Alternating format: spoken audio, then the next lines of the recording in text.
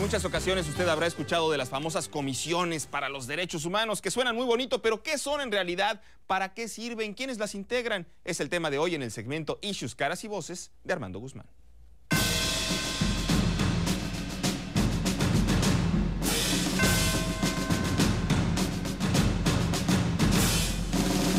No, no aguanto más, porque la situación como está, que no hay trabajo y que yo no tenga que darle de comer a mi hijo, a mí me duele. Me duele un montón. Por años, esta gente no tuvo a quien recurrir. El respeto a los derechos humanos debía ser tan viejo como la humanidad, pero no lo es. Cogieron a un señor porque se, se incurrió. Primero lo cogieron, lo pasaron. Bueno, lo tallaron contra la pared. Por eso hoy lo traemos aquí, a esta sala, a la que hoy entra más gente que nunca antes. En cierta de medida todo el ya- continente americano. Hay países de los 35 Estados miembros, 34 eh, Estados miembros de la OEA, que eh, todavía no tienen un sistema que permita que se cumpla acabadamente con el sistema interamericano de derechos humanos o no existe la voluntad política para hacerlo. Esta es la Comisión Interamericana de Derechos Humanos, una de las dos entidades del sistema interamericano. La otra es la Corte de Derechos Humanos. A garantizar que toda la gente que nosotros tendemos a proteger, que es toda la gente del continente, sienta en la comisión un espacio para traer sus reclamos y sienta que sus reclamos van a ser efectivamente tratados y además van a tener unas consecuencias positivas para las violaciones de sus derechos humanos.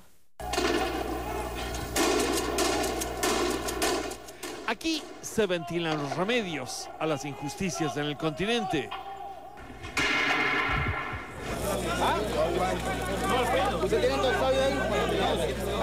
Hay dificultades, hay diferencias, pero todos los estados eh, lo lógico es cumplir con las decisiones de la Comisión y de la Corte. Una de esas dificultades es que países como Estados Unidos no aceptan las disposiciones de organismos internacionales.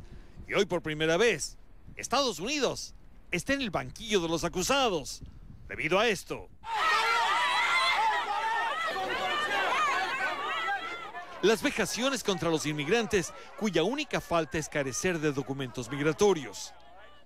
En la presidencia de la comisión, casualmente, está el representante de Estados Unidos, Paolo Carroza. Hemos tenido una, uh, una audiencia en este periodo de sesiones sobre los derechos de los migrantes en México, en transición.